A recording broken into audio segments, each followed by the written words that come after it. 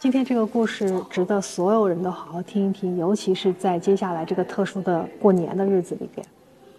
我的一个远方的亲戚，一月中旬的时候跟老公提了离婚，她老公呢也同意了，但是因为要一个月以后才能领证，正好又赶上过年了，于是两人就商量着先把这个年过完了，过完年再去领证。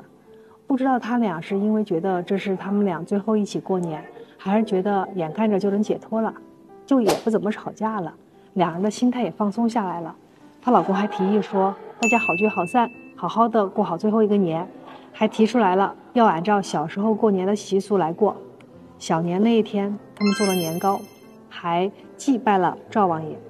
腊月二十五那一天，他俩结婚快十五年，第一次合作，愉快的把家里所有的角落啊都打扫得特别干净，连玻璃都擦得特别的透亮。腊月二十六那一天。他俩开始准备各种过年吃的肉，卤了一只特别大的肘子。他俩呢还一起去菜市场买了很多过年用的年货。二十七那一天，他俩开始洗衣服、洗床单。以前床单都是他自己一个人洗一个人晾，床单太大了嘛，他每次弄的时候都弄不平，就是晾干了，很多时候都是皱皱巴巴的。可是这一天，她老公和她一起就这种拉拉扯扯，就这样。就把那个大大的床单叠得平平整整的，再去晾到衣架上。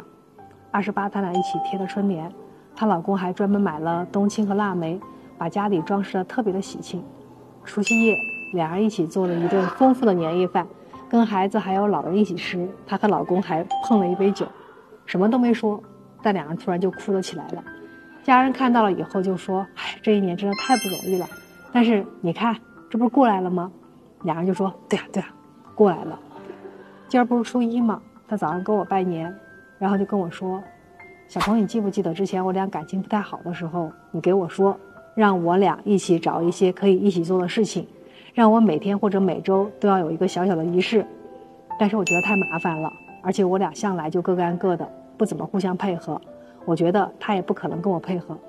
但是这一次过年，我俩一起干了很多事情，我现在突然有一点不想离婚了。”但是我看他呢，他其实好像也有这个意思，他好像也不想离婚了。现在很多人经常说啊，过年没有年味儿了。可到底什么是年味儿呢？年味儿不就是一家人在一起，无论好的坏的，但是在过年的时候都是好的；无论辛苦的疲惫的，但是一家人互相配合的，就是快乐的；无论平时看对方多不爽，但是过年的时候就可以把所有的恩怨情仇通通放下，好好的。和对方碰杯，以笑泯恩仇，互相祝彼此来年更好。然后在这个过程当中，你才发现，其实你们还相爱，你们内心还有爱，你们对彼此还有期待，你们还可以一起走下去，你们才是往后余生那个唯一的伴儿。这就是我觉得过年应该有的样子，也就是过年的年味儿吧。